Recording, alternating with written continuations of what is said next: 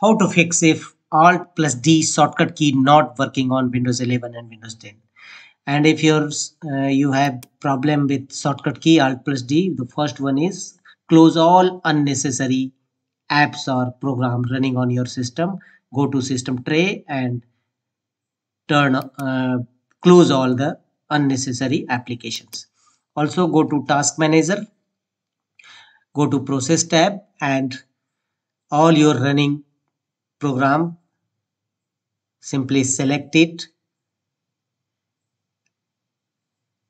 and choose end task.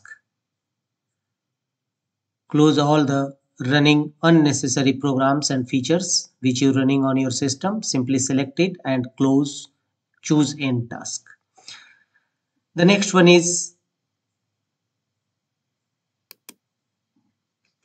check and must ensure that your language of your keyboard layout is English. If not set, set it English, either United States or English India.